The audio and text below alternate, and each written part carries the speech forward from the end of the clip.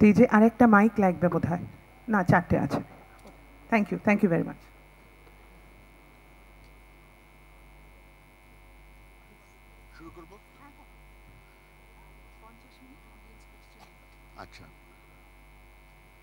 এই শীতল সন্ধ্যায় আপনাদের সবাইকে আমন্ত্রণ জানাচ্ছি। এবং আমার বিশ্বাস, একেবারে অনুষ্ঠানের শেষে যখন আপনাদের সুযোগ দেওয়া হবে কিছু প্রশ্ন করতে আপনারা সেটি করবেন। আমার সঙ্গে আজকে এখানে রয়েছে প্রসিদ্ধ শিল্পী, প্রসিদ্ধ সাংবাদিক এবং প্রসিদ্ধ কবি। কবির নাম শ্রীজাত আপনারা শ্রীজাতর কবিতা পড়েছেন। আনন্দ পুরস্কার প্রাপ্ত এই কবি অত্যন্ত স্বাদ, গন্ধযুক্ত গদ্যও লেখেন। যারা আনন্দবাজার পড়েন তারা তার পরিচয় পেয়েছেন। ডক্টর ফুয়াদ হালিম, সিপিআইএমের সদস্য এবং জনবাদী লেখক সংঘর ভাইস প্রেসিডেন্ট এবং সিপিআইএমের মিডিয়ার কাজ উনি দেখা সাক্ষাৎ, দেখা করেন দেখেন। এবং আমার সঙ্গে রয়েছে তার কোনো পরিচয়ের অপেক্ষা রাখে না, প্রখ্যাত শিল্পী যোগেন চৌধুরী। আমাদের বিষয় হলো মার্ক্সীয় চিন্তা, মার্ক্সীয় দর্শন। মার্ক্সীয় শাসন, বাংলা সাহিত্য ও সৃজনের উপর কি প্রভাব ফেলেছে? কতটা ক্ষতিকর, কতটা গঠনমূলক ইত্যাদি। প্রথমেই আপনাদের আমি যেটা বলে নিতে চাই সেটা হলো, মার্কস ও এঙ্গেলস কোনো স্বতন্ত্র, স্বয়ংসম্পূর্ণ নন্দন চিন্তা বা নন্দন তত্ত্ব উদ্ভাবন করেননি। কিন্তু দুজনেই ছিলেন সাহিত্যের পাগল প্রেমিক, বিশেষ করে কার্ল মার্কস। যারা রুথ প্রাভা জাভওয়ালার বইটা পড়েছেন, Karl Marx and world literature, তারাই জানেন কি অজস্র সাহিত্যের রেফারেন্স অজস্র উৎস থেকে কার্ল মার্কস তার গ্রন্থে দিয়েছেন। সত্যি, অবাক হওয়ার মতো, এমনকি দাস ক্যাপিটালেও। শুধু তাই নয়, তার প্রিয় নায়ক ছিলেন বিদ্রোহী বীর, বিদ্রোহী দেবতা প্রমিথিউস, যাকে গ্রিক ট্র্যাজেডিতেও স্মরণ করা হয়েছে। বারংবার। এই যে মার্ক্সীয় তত্ত্ব কার্ল মার্কস এবং ফ্রিডরিশ এঙ্গেলস করেননি, কিন্তু কিছু সূত্র ধরিয়ে গেছিলেন। তার উপর ভিত্তি করেই গত শতাব্দীর তিরিশ থেকে ষাট দশকের ভিতর মার্ক্সীয় নন্দন তত্ত্বের একটা স্ফুরণ ঘটে। Theodor Adorno, Walter Benjamin, Herbert Marcuse, গিয়গ Lukacs, Erich Fromm, Jean Paul Sartre এরা এদের চিন্তা, এদের ভাবনাকে সংযুক্ত করে গড়ে তোলে গড়ে তোলে মার্ক্সীয় একটি নন্দন বিশ্ব। এবং সেই মার্ক্সীয় নন্দন বিশ্বের অভিঘাত আমাদের কাছেও এসে পৌঁছেছে। আজকে যারা এখানে কাজ করেন, যেরকম অনকরঞ্জন দাশগুপ্ত, জীবনানন্দ বইতে, আমরা ওয়াল্টার বেঞ্জামিনের তত্ত্বের অত্যন্ত তীক্ষ্ণ প্রভাব লক্ষ্য করতে পারি। এখন বাংলা সাহিত্য ও সৃজনের অঙ্গনে মার্ক্সবাদের প্রভাব বলতে গেলেই প্রথমেই বলতে হবে কাজী নজরুল ইসলামের কথা, যিনি কমিউনিস্ট ইন্টারন্যাশনাল প্রথম বাংলায় অনুবাদ করেছিলেন, বিষ্ণুদের কথা বিষ্ণুদে ছিলেন একজন মার্ক্সীয় কবি এবং শ্রীজাত যেটা জানেন, চল্লিশ দশকের কবিতা, গত শতকের চল্লিশ দশকের কবিতা। সমর সেন, সুভাষ মুখোপাধ্যায়, বীরেন্দ্র চট্টোপাধ্যায় মঙ্গলাচরণ চট্টোপাধ্যায়, এরা এদের কবিতায় একটা প্রত্যক্ষ রাজনৈতিক দোটনা এনেছিল এবং সেই দোটনাটা তারা পেয়েছিলেন মার্ক্সবাদ থেকে। শিল্প সৃজনের বিশ্বে যখনই আমরা মার্ক্সবাদের কথা ভাবি, বাংলার প্রেক্ষিতে তখনই একজনের নাম বারবার উঠে উঠে আসে, তিনি হলেন সোমনাথ হোর। সোমনাথ হোর মার্ক্সীয় ছিলেন, মার্ক্সবাদী কতটা ছিলেন আমি তার মধ্যে যাচ্ছি না। এবং তেভাগার যোদ্ধাদের নিয়ে তিনি গ্রামে গেছিলেন তেভাগার সেই লড়াই প্রত্যক্ষ করার জন্য।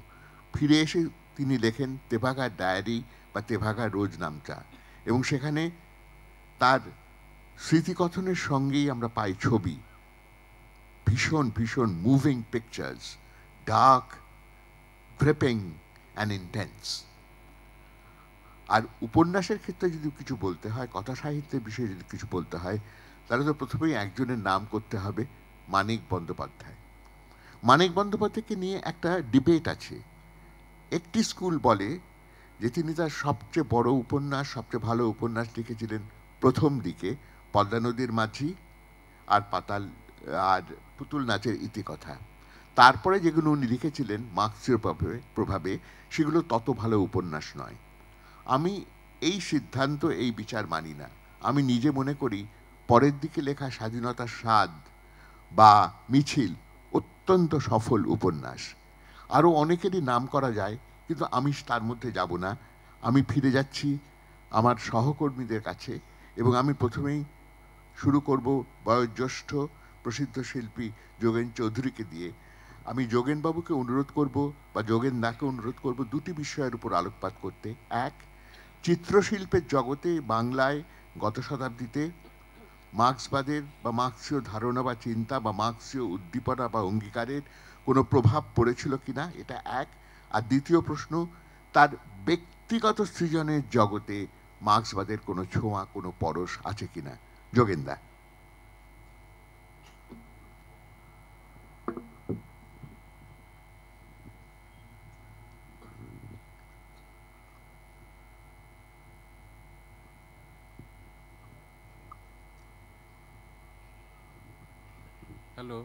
ঠিক আছে?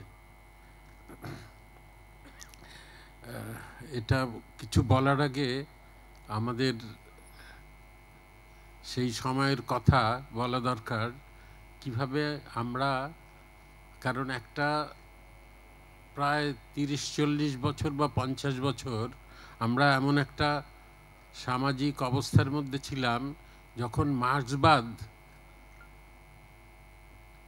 অন্যান্য সমস্ত ভাবনা থেকে আমাদের কাছে এগিয়ে ছিল আমরা অনেকে হয়তো তার মধ্যে সত্যি সত্যি গভীরভাবে মগ্ন ছিলাম, আবার কেউ কেউ ছিলেন না। আমি একটু আগে ওই সময়কার কথা বলি, যখন আমরা কলেজে, কলেজ সেই সময় উনিশশো ষাট, পঞ্চান্ন থেকে ষাট, সেই সময়কার অবস্থা বলি তখন কলকাতার অবস্থা কেমন ছিল? কারণ একটা জিনিস হয়, একটা সময় পার হয়ে যায়, কিন্তু তার দীর্ঘ সময় পরে সেই সময়টা যে কেমন ছিল, সেইটা কিন্তু আমরা মনে করতে পারি না। তার কারণটা হচ্ছে একটা নতুন জেনারেশন এসে যায় এবং নতুন সামাজিক অবস্থা তৈরি হয়। টেকনোলজিক্যাল যে চেঞ্জগুলো হতে থাকে সব কিছু মিলে আমরা অনেক সরে আসি। সেই কারণেই তখন কেমন ছিল সেইটা আমরা অনেক সময়ই পরে আর ভাবতে পারি না, ভুলে যাই। এইটা আমার মনে আছে ওই সময়কার একটু অবস্থা আমি বলি যে সেই সময় তখন সিক্সটিজ কথা বলি, কারণ ইস্ট বেঙ্গল থেকে যারা আসে দেশে, তারা এসে বাস্তুহারারা যারা এসেছিলেন, তাদের মধ্যে ধরা যাক কলকাতার পপুলেশনের মধ্যে একটা বড় অংশ ইস্ট বেঙ্গল থেকে এসছে ওই সময় দিয়ে ফিফটিজ সিক্সটিজ এই টাইমে এসে তাদেরকে কেন্দ্র করে কিন্তু এইখানকার লেফট মুভমেন্টটা গড়ে ওঠে মূলত। তারা এখানটার সমস্ত টালিগঞ্জ গড়িয়া যাদবপুর বা কলকাতার চারদিকে বিভিন্ন জায়গায় তারা বসবাস শুরু করে এবং কত লক্ষ বাস্তুহারা এসেছিল মনে আছে কি আপনার? তেরো লক্ষর উপরে।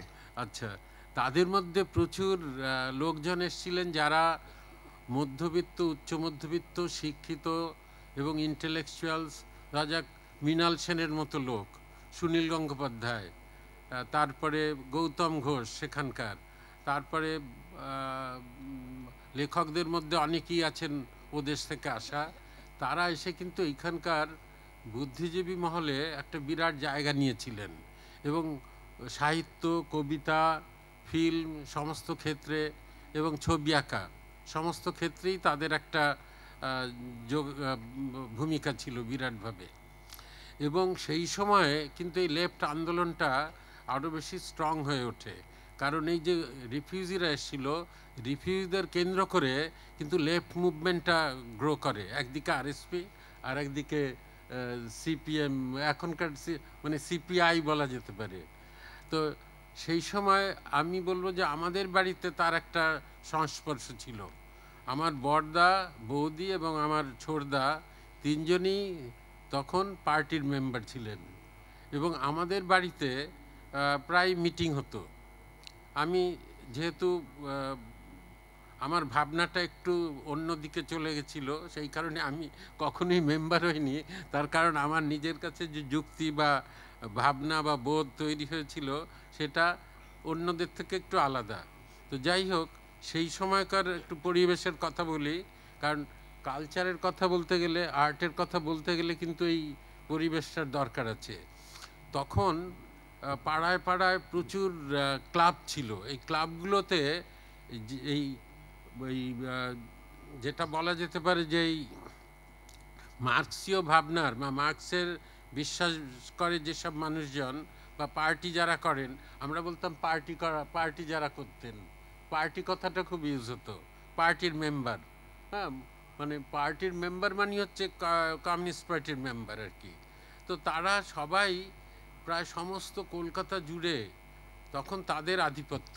কারণ তারাই তো কংগ্রেসকে হারিয়ে যখন এলো, তখন সেই অবস্থায় প্রায় সমস্ত শাসন ক্ষমতা এবং সমস্ত পরিবেশটা তারা ডমিনেট করছে। এবং আমি তার মধ্যে একসময় খুব ছোটোবেলা থেকে ইনভলভ ছিলাম কিন্তু যদিও যদিও আমি পার্টি মেম্বার হইনি কিন্তু আমার মনে আছে আমি যখন স্কুলের সিনিয়র যখন আমার অবস্থা বয়স সেই সময় আমি তখন এই ছাত্রদের যেসব প্রসেশন হতো তাইতে গিয়েছি। এবং জ্যোতিবাবুর যখন আহ, বন্দি মুক্তির আন্দোলন হয়েছিল ওই সময় এবং জ্যোতিবাবুর মুক্তির ব্যাপারে লেক কংগ্রেস হয়েছিল কংগ্রেসের। সেই সময় জ্যোতিবাবুর মুক্তির জন্য একটা বিরাট প্রসেশন মুভমেন্ট এইসব হয়েছিল। কারণ জ্যোতিবাবু তখন জেলে এবং সেই সময় হাজরাতে একটা বিরাট মিটিং হয়। সেখানে মেঘনাথ শাহ পর্যন্ত বক্তৃতা দিয়েছিলেন সেই অবস্থাতে। তারপর তখন কলকাতার অনেক মিছিল টিছিল আমি যেতাম। আমার, আমাদের তখন প্রায় সবারই সিপিএম মানে কমিউনিস্ট পার্টি করা মানে প্রোগ্রেসিভ কিছু করছি। কারণ এইটাই একমাত্র আমাদের জীবনকে পরিবর্তিত করতে পারে এবং আমাদের ভাবনার মধ্যে ওইটাই ছিল যে মার্ক্সীয় দর্শনের মধ্য থেকে যে জায়গাটা চলে এসছে, আমরা সবাই বিশ্বাস করতাম যে এই সমাজকে পরিবর্তন করার জন্য ওটা প্রয়োজন।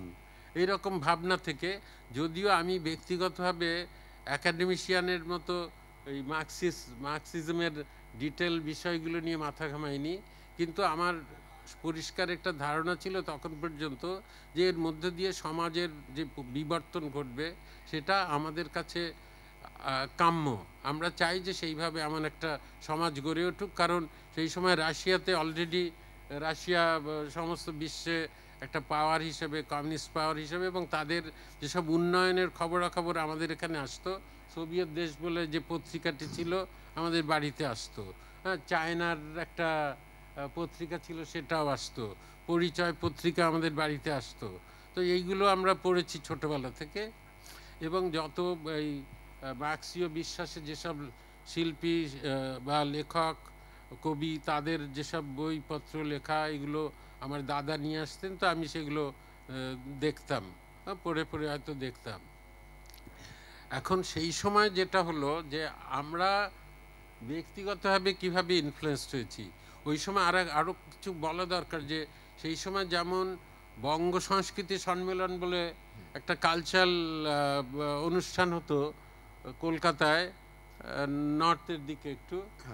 আর পাশাপাশি বিরাট করে যুব উৎসব হতো, যেটা ইন্টারন্যাশনাল যুব উৎসবের প্রাথ মানে এই এই স্টেটের বা এই দেশের সেইটা আমাদের এই স্টেডিয়ামের মধ্যে হতো, রঞ্জি স্টেডিয়ামে এবং সেই সময় লক্ষ লক্ষ ছেলে মেয়েরা যুবকেরা, তারা সব সেই প্রোগ্রামে যেত এবং তাদের সমস্ত অ্যাক্টিভিটিটাই ছিল যে আমরা এমন একটা ভবিষ্যতের দিকে আমরা যাচ্ছি আমাদের এই কর্মকাণ্ডের মধ্যে দিয়ে। তার মধ্যে দিয়ে রেভলিউশনের কথা তো নিশ্চয়ই রয়েছে যে আমরা এমন একটা পরিবর্তন ঘটাবো সমস্ত দেশের, সমাজের, যার মধ্যে দিয়ে মানুষের যেসব সমস্যা রয়েছে সেইগুলো সব একদিন সলভ হয়ে যাবে। এরকম একটা ভাবনা আমাদের মধ্যে কাজ করতো। আচ্ছা এখন আমি বলি যে আমাদের শিল্পীদের মধ্যে অনেকেই এই ভাবাদর্শে দীক্ষিত ছিলেন এবং যেমন বিজন চৌধুরী, একজন নাম করছি সোমনাথদার কথা উনি বলেছেন তারপর বিজনদা নিজে একজন মেম্বার ছিলেন, পার্টি মেম্বার, এবং উনি যত ছবি এঁকেছেন, তাতে কিন্তু এই মার্ক্সবাদী বা কমিউনিজমের যে বিশ্বাস বা ভাবনা, সেই সবের ট্রু রিপ্রেজেন্টেশন ছিল তার কাজে। তার কাজের মধ্যে সেগুলো দেখা যেত এবং ওনার যদি ধারাবাহিকভাবে আমরা দেখাতে পারতাম সেইভাবে এইভাবে আমরা একটা বিরাট গ্রুপ ছিল যেমন দেবব্রত বন মুখ- মুখোপাধ্যায় তো? মানে ওই চৌকো বলা হতো তাকে।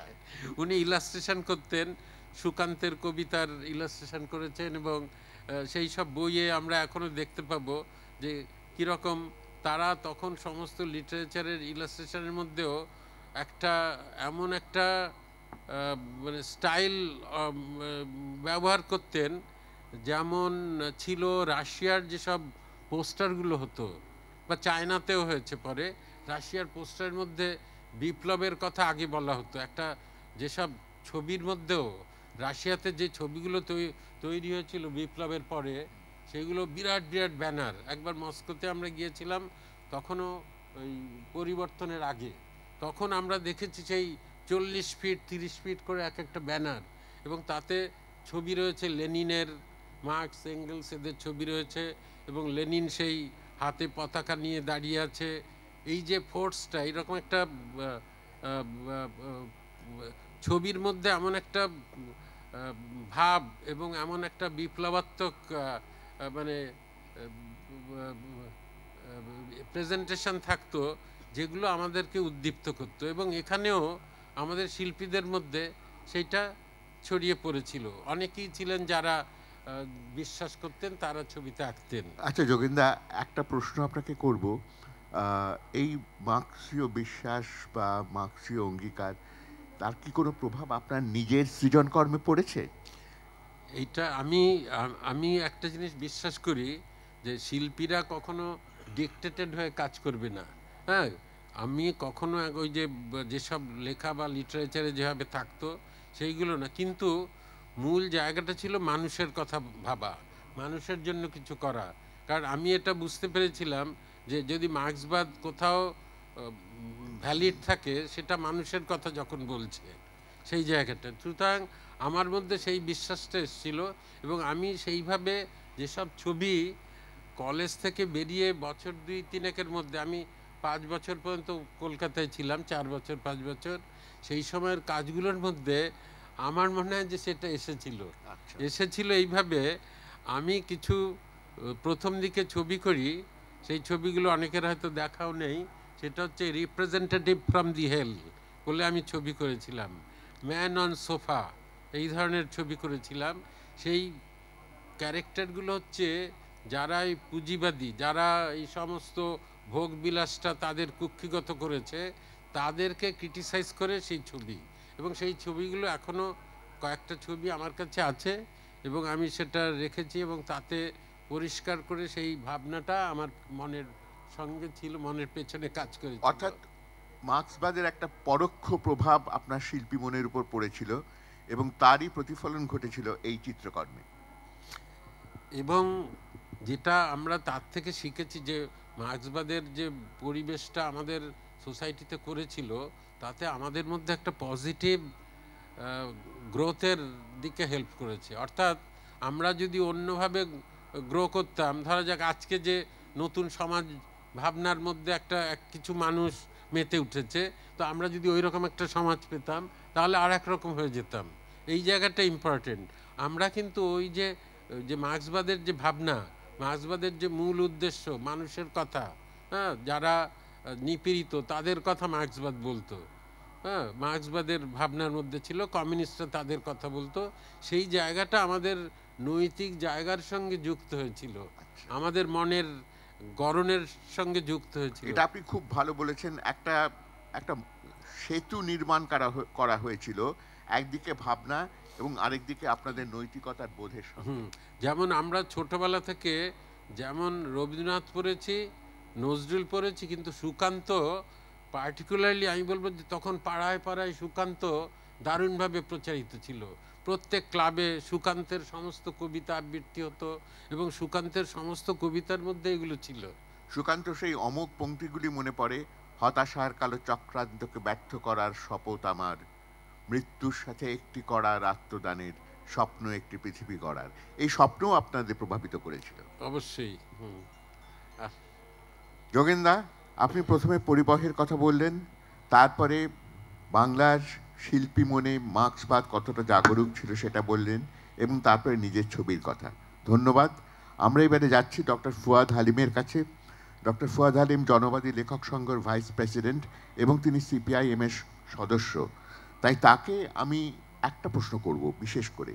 সেটা হলো মার্ক্সবাদ এবং তার প্রতি অঙ্গীকার, একনিষ্ঠ পালন, যেভাবে বিরাট শিল্পীদের উজ্জীবিত করেছে মায়াকফস্কির কথাই ধরুন বা পাবলো নেরুদার কথাই ধরুন। অন্যদিকে আমরা এও জানি, এটা আমাদের স্বীকার করে নিতেই হবে, যে মার্ক্সীয় শাসন লেখক সমাজের বেশ কয়েকজন মানুষকে শৃঙ্খলিত করেছিল, কারণ তারা পার্টির ডিকটাট অনুসরণ করতে চায়নি এই যে একটা দ্বন্দ্ব মার্ক্সবাদের ভিতর, একদিকে শিল্পীকে উজ্জীবিত করছে, আরেকদিকে শিল্পীকে শৃঙ্খলিত করছে, এ বিষয়ে আপনি যদি কিছু বলেন।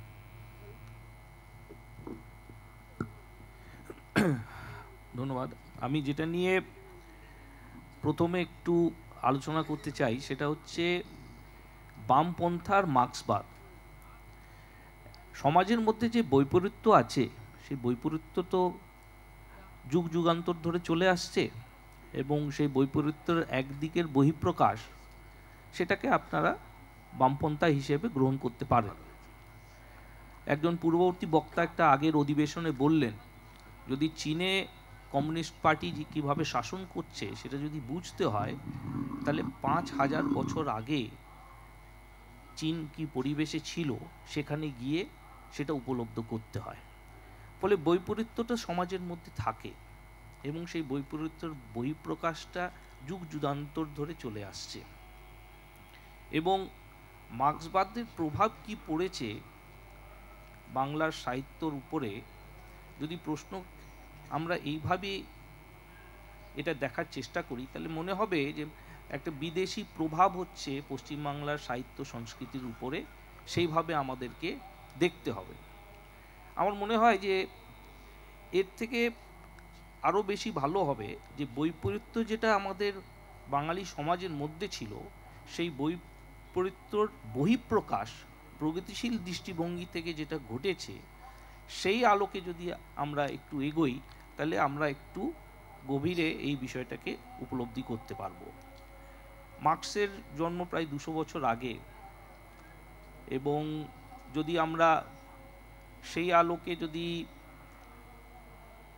ভারতবর্ষে এবং পশ্চিমবাংলা অথবা বাংলা তখন তখন তো পশ্চিমবাংলা নেই, ভারতবর্ষে ওনার লেখা কতটুকু এসছে আমরা জানি না, কিন্তু যখন হুতুম প্যাচার গল্প হচ্ছে কালীপ্রসন্ন সিংহ লেখেন, তখন উনি বাংলার হচ্ছে শিক্ষা ব্যবস্থার যে বৈপরীত্য, তার কিন্তু তীক্ষ্ণ একটা চিত্র তুলে ধরেন। ইংরেজ শিক্ষা ব্যবস্থার মধ্যে থেকে বাবুদেরকে তৈরি করতে হবে এবং শিক্ষার মধ্যে থেকে যে মস্তিষ্কে চিন্তনের যে অবাধ হচ্ছে অগ্রগতি হওয়া উচিত তার উপরে একটা লাগাম হয়ে উঠেছে এবং শ্রেণীবিভক্ত সমাজের মধ্যে এই শিক্ষাটা কি করে হচ্ছে একটা পুরো বাবু শ্রেণি তৈরি করেছে তার তীক্ষ্ণ ছবি উনি তুলে ধরেছেন। এই তীক্ষ্ণ ছবির মধ্যে থেকে আমরা যদি ওনার নিজস্ব ব্যক্তিগত জীবনের দিকে যদি লক্ষ্য রাখি, উনি পাশাপাশি হচ্ছে মহাভারতকে সংস্কৃত থেকে বাংলাতে অনুবাদ করার জন্য একটা মুখ্য ভূমিকা পালন করেন। সেই বৈপরীত্যটা ছিল যে এইরকম একটা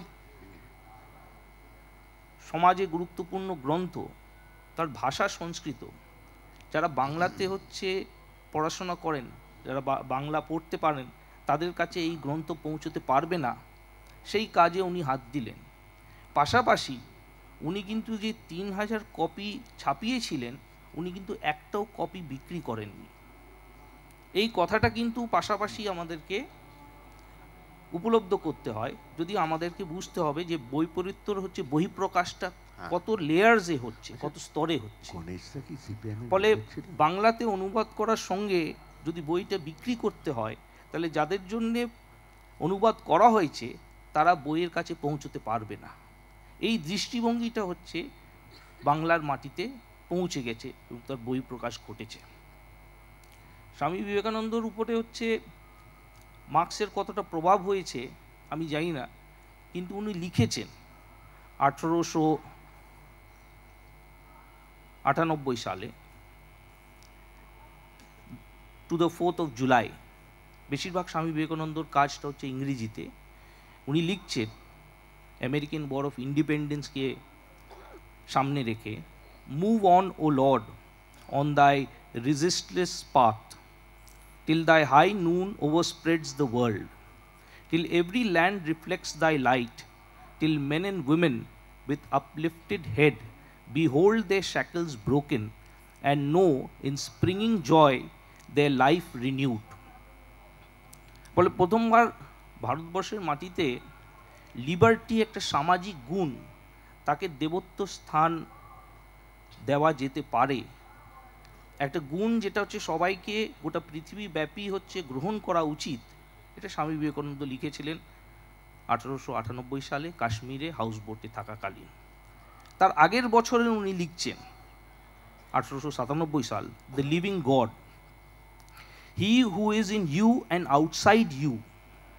Who works through all hands who walks on all feet whose body are all ye him worship and break all other idols এই যে শ্রমিকের মানে চরিত্রায়ন করে উনি বলছেন যে শ্রমিক হচ্ছে মূল চালিকা শক্তি এবং শ্রমিকদেরকে হচ্ছে ভগবান এবং দেবত্বর জায়গা হচ্ছে পাওয়া উচিত।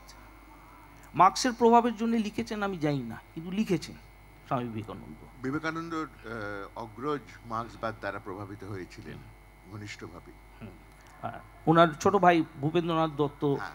কমিউনিস্ট পার্টির সদস্য ছিলেন হ্যাঁ। এবং এই এই বিষয়টা কবিগুরু রবীন্দ্রনাথ ঠাকুর উনি যখন বিশ্বভারতী প্রতিষ্ঠানকে তৈরি করেন তখন ওনার মূল উপলব্ধি ছিল যে ইংরেজদের যে শিক্ষা ব্যবস্থা আছে। সেই শিক্ষা ব্যবস্থার মধ্যে থেকে ইংরেজদের ভারতবর্ষের উপরে তাদের কর্তৃত্ব কায়েম করার জন্যে যেইটুকু মানব সম্পদ তৈরি করার প্রয়োজন আছে, যতটুকু মস্তিষ্ক হচ্ছে বিস্তার করার প্রয়োজন আছে, সেই পরিকাঠামো আছে। পরে উনি বেরিয়ে এলেন, বেরিয়ে এসে একটা নতুন একটা শিক্ষার প্রতিষ্ঠান তৈরি করলেন, যেখানে হচ্ছে মন খুলে হচ্ছে, লোকজন হচ্ছে শিক্ষা গ্রহণ করতে পারবে। কতটা মার্ক্সবাদের ইনফ্লুয়েন্স আমি জানি না কিন্তু করেছিলেন। বৈপরীত্যর হচ্ছে বহিঃপ্রকাশ। এবং এই বহিঃপরিত্যর বহিঃপ্রকাশ বিভিন্ন স্তরে হচ্ছে বাংলায় আমরা তার উদাহরণগুলো পেতে পারি। মার্ক্সের যদি আমরা বলি কোঅপারেট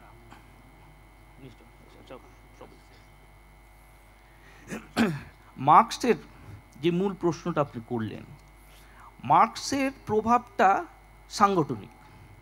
এই যে বৈপরীত্যর বহিঃপ্রকাশ, এটা স্বতঃস্ফূর্ত হবে না সাংগ মানে ওটা সঙ্গবদ্ধ হবে? ওকে সংগঠিত করার প্রয়োজন আছে। সেই আলোকটা, সেই আলোকে দেখলে আমার মনে হয় মার্ক্সের প্রভাবটা আমরা বেশি বুঝতে পারব। উনিশশো ছত্রিশ সালে প্রথমবার ভারতবর্ষের মাটিতে হচ্ছে জনবাদী লেখক সংঘের প্রোগ্রেসিভ রাইটার্স অ্যাসোসিয়েশনের প্রথম কনফারেন্স হয়। সেই কনফারেন্সটা সংগঠিত হয় লখনৌতে এবং লখনৌতে ভেন্যুটা ছিল কংগ্রেস নাগার। তিনটে অধিবেশন হয় সেই স্থানে। মূল অধিবেশন ছিল ভারতবর্ষের জাতীয় কংগ্রেসের অধিবেশন।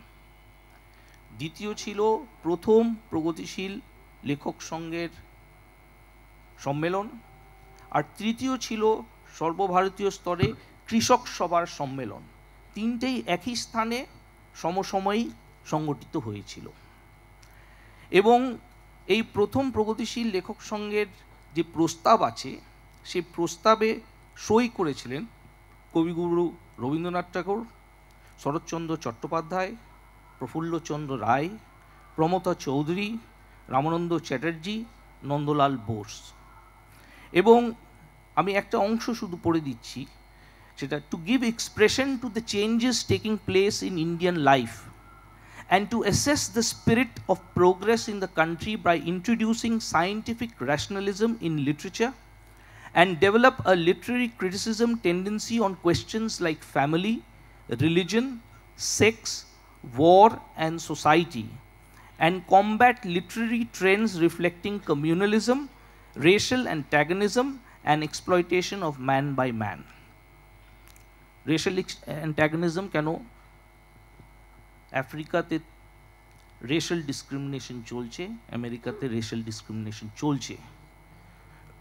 উনিশশো চোদ্দ সালে আমেরিকান কংগ্রেস, তখন ডেমোক্র্যাটরা ক্ষমতায়, তারা একটা রেজলিউশন পাস করে যে যারা আনডিজায়ারেবল তাদেরকে হচ্ছে ক্যাস্ট্রেট করতে হবে। হিটলার তো মানে যেভাবে একটা পুরো প্রজাতিকে নষ্ট করার জন্য যেভাবে একটা পদক্ষেপ গ্রহণ করেছিলেন তার পূর্বে আমেরিকার ডেমোক্রেটিক গভর্নমেন্ট কিন্তু এই লেজিসলেশন পাস করেছিল যে আপনার কাছে যদি চাকরি না, নেই, আপনার কাছে যদি সম্পত্তি নেই, আপনার কাছে যদি অর্থ নেই, তাহলে আপনাকে আনডিজায়ারেবল ট্যাগ করা হবে এবং আপনাকে ক্যাস্ট্রেট করা হবে if you are a male that is nineteen fourteen resolution of the American government democratic government at that time ফলে এই পরিবেশের মধ্যে, এই এই প্রথম প্রগতিশীল লেখক সংঘের এই বিষয়টা ঘটে। এর আগে উনিশশো উনত্রিশ সালে মেরট কনস্পিরেসি কেসে যখন কমিউনিস্টরা সিদ্ধান্ত নেয়, তখন মুজাফফর আহমদ, কাজী নজরুল ইসলামের সঙ্গে নবযুগে সহ সম্পাদক আমাদের রামানন্দ আর আর মিত্র, উনি পরে সাহিত্য অ্যাওয়ার্ড পান, দুজনই হচ্ছে অ্যারেস্টেড এবং ইংরেজদের সঙ্গে কাঠগড়ায় দাঁড়িয়ে হচ্ছে কোর্ট কেসটা চলছে। তখন কমিউনিস্টরা সিদ্ধান্ত নিল যে আমরা এই মঞ্চটাকে ব্যবহার করব, আমরা যেই দেশটা তৈরি করতে চাই সেই দেশের সম্বন্ধে বলতে। সেখানে যে কালচার কনটেক্সট সেখানে যে সাহিত্যের কনটেক্সট একটা গভীর ইতিহাস আছে। এবং সেই ইতিহাসের মধ্যে চলতে চলতে যেই সাংগঠনিক সিদ্ধান্ত হলো তার বহিঃপ্রকাশ কিন্তু প্রত্যেকটা ব্যক্তি যিনি প্রগতিশীল লেখক, শিল্পীর সঙ্গে সঙ্গে যুক্ত ছিল, তার ব্যক্তিগত জীবনে পাওয়া যায়। উনিশশো তেতাল্লিশ সালে এই পঁচাত্তর বছর হতে চলেছে, একটা সংগঠন তৈরি হয় পিপলস রিলিফ কমিটি তখন ভীষণ বান, সাইক্লোন হয়েছে এবং কিছুদিনের মধ্যে গ্রেট বেঙ্গল ফ্যামিন পশ্চিমবাংলায় এসছে, বাংলায় এসছে। তাকে মোকাবিলা করার জন্যে সে পিপলস রিলিফ কমিটি যখন সংগঠিত হয়, তার প্রথম সঞ্চালন সমিতির মধ্যে Tarashankar Bandyopadhyay, Manik Bandyopadhyay, Muzaffar Ahmad A H Maliabadi and Debabrata Biswas উর্ফে ওনাকে জজ বিশ্বাস হিসেবে বেশি পরিচিত ওনারা সদস্য ছিলেন। ফলে এই যে মানুষের সঙ্গে একটা সম্পর্ক, একটা নিবিড় সম্পর্ক যিনি শিল্পী, যিনি শিল্প রচয়ন করছেন, যিনি লেখা করছেন, যিনি আঁকছেন, যিনি নাট্যকার ওনাদের সঙ্গে, মানুষের সঙ্গে যে নিবিড় সম্পর্ক, তার বহিঃপ্রকাশ বিভিন্ন দিক থেকে, এই যে সামাজিক বৈপরীত্য আছে, সেই বৈপরীত্যর মধ্যে থেকে কিন্তু আমরা বাংলাতে উপলব্ধি করেছি। স্বাধীনতার পর পর এই যে স্রোতটা ছিল, এই স্রোতটা চলল। তারাশঙ্কর বন্দ্যোপাধ্যায়, উনি রাজ্যসভাতে গেলেন। উনি রাজ্যসভাতে দাঁড়িয়ে হচ্ছে কমিউনিস্ট পার্টির কথাগুলো বললেন এবং আমাদের সুকান্ত বাবুর যে লেখাগুলো আছে সেগুলো হচ্ছে যোগেন্দা বলিস আচ্ছা। স্যার, এই এই যে মানে এত বার্স সাবজেক্ট সলিল চৌধুরী থেকে আরম্ভ করে মানে বলতে বলতে রাত কেটে যাবে। ফলে দাদা বলছেন, ফলে এইটুকু বলে আমি আমার কথাটা শেষ করছি। ধন্যবাদ। অনেক ধন্যবাদ। আমাকে কথা প্রসঙ্গে যোগেন্দা বললেন যে সোমনাথ হরেরও একজন গুরু ছিলেন প্রখ্যাত শিল্পী চিত্তপ্রসাদ। এবারে আমরা আসছি আমাদের শেষ বক্তা শ্রীজা, শ্রীজাতর কাছে। সে আমাদের ভিতরে সবচেয়ে তরুণতম এবং তাকে আমি বলব, বাংলা কবিতায় মার্ক্সবাদের প্রভাব জানিয়ে আমি দু একটা কথা প্রথমে বলেছি। এবং তিনি নিজে কীভাবে প্রভাবিত হয়েছেন বা অনুপ্রাণিত হয়েছেন এবং কীভাবে দেখেছেন একদিকে এই উজ্জীবন, এই গঠনমূলক প্রভাব এবং অন্যদিকে কবিদের উপর নির্যাতন, নিপীড়ন, এ বিষয়ে উনি যদি আমাদের কিছু বলেন। শুভ সন্ধ্যা। আর দশ মিনিট আছে, তো আমি, আমার পক্ষে খুব সুবিধে হয়েছে, কারণ আমি ঠিক দশ মিনিটের মতোই ভেবে এসেছিলাম। তো আমার আজকে বিষয়ের নাম লাল, আপনারা আমার সোয়েটারের রং দেখেই বুঝতে পারছেন যে আমি খুব মিসফিট বক্তা হিসেবে, কিন্তু তাও আমাকে এখানে ডাকা হয়েছে। আর আমরা একটা, আমি আমার ব্যক্তিগত হিসেবে বলি, কারণ আমি এই নিয়ে একাডেমিক আলোচনা করতে একেবারেই প্রস্তুত নই এবং সেটা আমার ক্ষেত্রেও নয়। ছোট্ট দু এক কথায় বলতে গেলে যে আমাদের সময়টা আমরা যখন বেড়ে উঠছি, তখন একটা অদ্ভুত সময়, বিশেষত যারা এই বাংলায় বেড়ে উঠছি তখন একদিকে রাশিয়া ভেঙে যাচ্ছে এবং আমাদের এখানে সুমনদা গান লিখছেন, গান গাইতে আসছেন। এই যে একটা ডাইকোটমি, তার মধ্যে দিয়ে আমরা অদ্ভুত কিছু স্বপ্ন নিয়ে এবং অদ্ভুত কিছু দ্বিধা, দ্বন্দ্ব কনফিউশন নিয়ে বড় হয়েছি। কারণ আমরা দেখেছি যে যে সময় রাশিয়া ভাঙছে, সেই মানুষ, সেই সময় সারা পৃথিবী জুড়ে কত মানুষের স্বপ্ন একসঙ্গে ভেঙে পড়ে যাচ্ছে। এবং সেটা সম্ভবত পৃথিবীর অন্যতম বড় একটা ফল, একটা দর্শনের পতন। এবং সেই সঙ্গে আমাদের এখানে আমি খুব, আমি যেভাবে বড় হয়েছি বলছি যে, আমরা তো একটা সময় ছোটবেলায় বাড়িতে যে সমস্ত বইপত্র, পত্রিকা আসতো, আমরা ভাবতাম যে ভারতবর্ষ আর রাশিয়া একই দেশ। আমরা ভাবতাম যে রবীন্দ্রনাথের পাশেই দস্তয়েভস্কি থাকেন, সুকান্তর পাশেই কোথাও পুষ্কিন থাকেন। আমরা অনেক পরে জেনেছি যে সোভিয়েত রাশিয়া আসলে একটা আলাদা দেশ। অনেক দূরে সেখানে মানে অনেক দূর, দূরত্ব পার করে যেতে হয়। তো যখন সত্যি সোভিয়েত রাশিয়া ভেঙে গেল, তার অস্তিত্ব রইল না, তখন যেমন একটা স্বপ্ন ভাঙলো, খুব আশ্চর্যভাবে আমাদের স্বপ্ন দেখাতে শুরু করলেন বেশ কিছু শিল্পী। তার মধ্যে আমি সুমনদার নামটা বললাম, তার কারণ খুব কম বয়স তখন আমাদের ষোলো, সতেরো, আঠেরো বছর বয়স। সুমনদা তার গানে বলছেন যে, মরবো দেখে বিশ্ব জুড়ে যৌথ খামার। তো আমরা সেই সময় ভাবছি যে, নিশ্চয়ই এইটাই বিপ্লবের কথা। এইটাই তো স্বপ্ন দেখানোর কথা। যদিও সোভিয়েত রাশিয়া ভেঙে গেছে, সেই দেশটা আর নেই, তার কি অবস্থা তখন আমরা দেখতে পাচ্ছি। কিন্তু বিভিন্ন ক্ষেত্রে বাংলায় তার স্বপ্নটা বেঁচে আছে। আমার যেটা সবচেয়ে বড় মনে হয় যে যে কোনো শিল্পীর, আমার এখানে শিল্প নিয়ে কোনো কথাই বলা উচিত না, যোগেন্দা বসে আছেন, কিন্তু যে কোনো শিল্পের মূলধন বা পুঁজি হচ্ছে স্বপ্ন। যদি স্বপ্ন না থাকে if you don't dream you cannot create এটা আমার বারবার মনে হয় যে স্বপ্ন না দেখলে কোনো কিছুই তৈরি করা যায় না। তো মার্ক্সবাদ তো অনেক বড় একটা বিষয়, কিন্তু আমি যখন আমার বাড়িতে ট্যাংরা মাছের ঝোল হলে পাশের বাড়িটায় যেত, আমি সেটাকেও মনে করি মানুষের জন্য ভাবা। আমরা সেই রকম পরিবেশে বড় হয়েছি। তো আমি অত কিছু বড় করে বুঝতে পারতাম না। পাড়ার সবাই রাত্রিবেলা কেউ অসুস্থ হলে আমাদের তো তখন সেলফোন নেই, ফেসবুক নেই। কিন্তু এক মুহূর্তে একশো মানুষ জড়ো হয়ে যেতেন। সেটা কোন মার্ক্সবাদ থেকে হতো? আমি জানি না। হ্যাঁ, আজকে কেউ মারা গেলে তাকে নিয়ে শ্মশানে যাওয়ার লোক পাওয়া যায় না কবরস্থানে যাওয়ার লোক পাওয়া যায় না। আর তখন দেখেছি যে চিনি না এমন মানুষ মৃত হয়েছেন তার জন্য বহু মানুষ সারা রাত জাগছেন হাসপাতালে যাচ্ছেন রক্ত দিচ্ছেন। হয়তো এখনও হয়। কিন্তু আমি বলছি যে আমরা এই রকম একটা পরিমণ্ডলে বড় হয়েছি হয়তো আমরাই শেষ প্রজন্ম।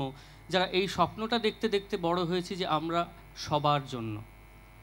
তো সেই সময় কিন্তু সেই সমস্ত কিছুই আমাদের সাহিত্যে, আমাদের শিল্পে প্রত্যক্ষভাবে আমি একটা প্যারাগ্রাফ তুলে এনে বলতে পারব না যে দেখুন, এই প্যারাগ্রাফটা মার্ক্সবাদের প্রভাবে লেখা। মার্ক্সবাদ একটা বিশাল সমুদ্রের মতো একটা তত্ত্ব, তার কতটুকু আমরা জানি বা কতটুকু আত্মস্থ করতে পেরেছি। বা অনেকেই মার্ক্সবাদের সঙ্গে কিছু পার্টিকে গুলিয়ে ফেলেন। পার্টি তো একটা কাজ করা। এই যে যোগেন্দা বললেন যে পার্টি করা। তো আগেও বাবা কাকারা পার্টি করতেন আর এখনও আমরা রাতে পার্টি করতে যাই। মানেটা পাল্টে গেছে। কিন্তু এখনও সবাই পার্টি করে। তো যেখানে এই রকম একটা অবস্থা, আমার মনে হয় যে স্বপ্ন ভাঙবার তো সময় আসেই, স্বপ্ন ভাঙেই। কিন্তু আমরা সেই প্রজন্ম হয়তো শেষতম এই ভাষায়। যারা একটা স্বপ্ন নিয়ে, স্বপ্ন দেখে শুরু করেছিলাম এবং সেই স্বপ্ন ভাঙার মধ্যে দিয়ে অনেক দূর এগিয়ে এসেছি। জানি না পরে পরবর্তী সময় কি হবে। তবে আশা করছি যে আবার নতুন কোনো স্বপ্নের একটা সাম্রাজ্য তৈরি হয়ে উঠবে, না হলে তো সবটাই নষ্ট হয়ে যায়। ধন্যবাদ। ধন্যবাদ শ্রীজাত। আপনার কথা শুনে আমার বিষ্ণুদের দুটি অমোঘ পংক্তি মনে এসেছে। আমার স্বপ্ন অপরিসীম, আমার মনে কোনো ক্লান্তি নেই। অথচ ডালে ডালে শুকনো হাহাকার, অথচ মাঠে মাঠে অসারহীন।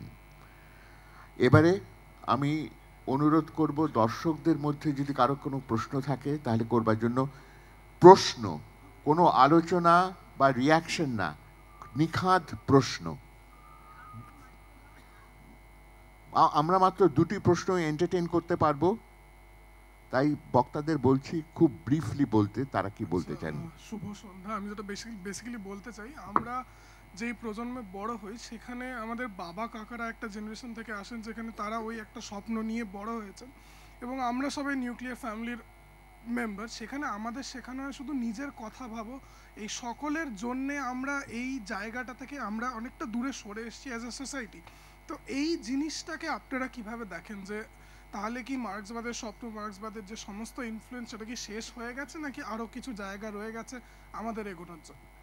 থ্যাংক ইউ আসলে এটা, যেটা, যে কথাটা আমি বললাম সেখান থেকেই হয়তো আপনি শুরু করলেন। কিন্তু আমার মনে হয় দেখুন আজকে একজন, একটি বাঘ যখন আহত হয় কোনো কারণে শিকার করতে গিয়ে, জঙ্গলের সমস্ত বাঘ কিন্তু এক জায়গায় হয়। তারা কেউ মার্ক্সবাদ পড়েনি কিন্তু। হ্যাঁ ফলে আমার মনে হয় যে মা, নিজের প্রজাতির পাশে দাঁড়ানো এইটা খুব বেসিক একটা জায়গা ছিল। যে জায়গার উপর মার্ক্সবাদ তৈরি হয়েছে যে প্রত্যেক মানুষের জন্য মানুষকে পৌঁছতে হবে। আজকে আমাদের যেটা শেখানো হচ্ছে, যদি এরকম সত্যি কিছু শেখানো হয়ে থাকে যে শুধু নিজেদের জন্য ভাবো, তাহলে আমি দুঃখিত হয়ে বলব যে সেটা সম্পূর্ণভাবে ভুল শিক্ষা। এবং যারা সেই শিক্ষায় শিক্ষিত হতে চাইবেন বা হবেন, তারা এটাও মনে করে যেন হন যে কাল কিন্তু আমার পাশেও কোনো হাত থাকবে না। আর যদি আমি আমার হাতটা না বাড়াই, কাল আমার বিপদে কারোর হাত আমি পাবো না। সেটা যদি আমি অ্যাফোর্ড করতে পারি, তাহলে হয়তো সেটা সুশিক্ষা।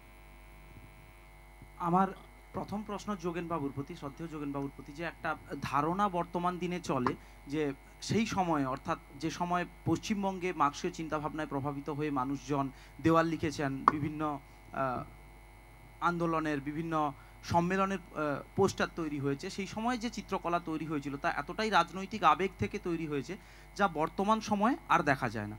আমি আমি, আমার জিজ্ঞাস্য এটাই যে এটা কি শুধুমাত্র টেকনোলজির অগ্রগতির কারণেই যে বর্তমান দিনে আমাদের কাছে ফ্লেক্স আছে ডিজিটাল প্রিন্টিং আছে, এজন্যই কি এটা বদলে গেছে? নাকি সত্যিই এই চিন্তাভাবনার একটা ধ্বংস ঘটেছে? আর দ্বিতীয় প্রশ্ন শ্রীজাত বাবুর কাছে সেটা হচ্ছে যে তখনকার দিনে আমরা দেখতাম যে বিরোধিতা করার জন্য, যখন বিরোধিতাদের বিভিন্ন সময়ের মধ্যে দিয়ে গেছে, আমি রাজনৈতিক উদ্দেশ্য ছাড়িয়েও বলছি যে দেখা গেছে বিরোধিতা করার জন্য সামনে না দাঁড়াতে পারলেও অনেকে সাহিত্যের মাধ্যমে, ছড়া কাটার মাধ্যমে বিভিন্ন সময় বিরোধিতা হয়েছে। আমি বিরোধীদের পয়েন্ট থেকে যদি বলতে চাই, সেটাও বর্তমান দিনে দেখা যায় যে রাজনৈতিক কুৎসা হয়, মানুষকে ব্যক্তিগত আক্রমণ হয়। কিন্তু কোনোভাবে বিরোধিতার জন্যই হোক কিংবা সরকারের সপক্ষের জন্যই হোক, যে সৃজনশীল সাহিত্য, ছড়াকাটা, এগুলো ধীরে ধীরে কিন্তু আমাদের বিভিন্ন জায়গা থেকে সরে যাচ্ছে, কিন্তু আমাদের কাছে মাধ্যম বাড়ছে। তো সেটাও কি আপনার মনে হচ্ছে কোথাওভাবে মানুষের একটা, এই সৃষ্টিশীলতাটা নষ্ট হয়ে যাচ্ছে রাজনৈতিক ক্ষেত্রে? আমি শর্টে বলি, পোস্টার করার একটা ব্যাপার ছিল, বিশেষ করে ওই কমিউনিস্টদের আমলে। তাই তো? কিন্তু তার মধ্যে পলিটিক্যাল জায়গাটাই বড় ছিল। আর যে পোস্টার করা হতো তার একটা এক রকমের রীতিতে রিপিটেটিভ ছিল। সেটা ওই, সেটা এসছে আবার ওই রাশিয়া বা ওখানকার থেকে যেভাবে ওদের সেই শ্রমিকের একটা ইয়ে ফিগার তার সঙ্গে হাতে একটা পতাকা বা ইত্যাদি, এই জায়গাটাই থাকতো মূলত। এখানটায় যে খুব আর্টের কাজ ওইটা হতো তা নয়। সুতরাং এটা মূলত পলিটিক্যাল জায়গা থেকে এসছে, রাজনৈতিক প্রচারের প্রয়োজনে হয়েছে, এটা আমার মনে হয়। আমার যেটা মনে হয় যে, আপনি যেটা জিজ্ঞেস করলেন খুব ভ্যালিড একটা প্রশ্ন, কিন্তু আগে যেমন ছিল যে প্রতি পদেই প্রতিক্ষণেই আমরা সেটা পেতাম, ইদানিং সময় হয়তো প্রত্যেকটা ঘটনার পরিপ্রেক্ষিতে সেই রকম সংস্কৃতি মনস্ক বিরোধিতা আমরা পাই না, কারণ এই যে মানুষ অনেক আত্মকেন্দ্রিক হয়ে গেছেন, এখন আমি একটা লেখা লিখব, তার কি প্রতিক্রিয়া হবে, সেটা নিয়েও আমি ভাবি। কিন্তু আবার এটাও ঠিক যে আমরা এই পশ্চিমবঙ্গেই দেখেছি যে কখনো কোনো ঘটনা অপছন্দ হলে প্রশাসনের তরফে, শাসকের তরফে, বহু মানুষ কিন্তু একসঙ্গে ক্ষোভ জাহির করেছেন এবং তাদের প্রথম সারির অনেকে কিন্তু শিল্পী সাহিত্যিক। লেখালেখি হয়েছে এবং সেই লেখালেখি শুধু সেই ঘটনাকে কেন্দ্র করে নয়, তার মধ্যে থেকে চিরকালীন শিল্প, সাহিত্য সব কিছু উঠে এসছে। ফলে একেবারে হাল ছেড়ে দেওয়ার মতো দিন এসেছে বলে আমার মনে হয় না। একটু আশাবাদী আমরা থাকতে পারি। ধন্যবাদ।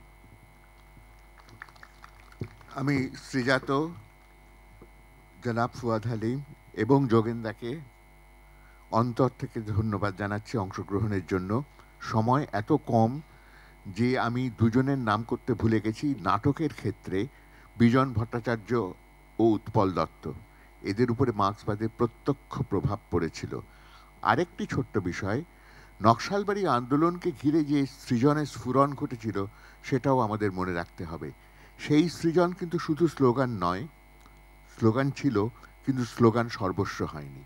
এই বলেই আজকের এই আলোচনা, এই অনুষ্ঠান শেষ করছি। ধন্যবাদ।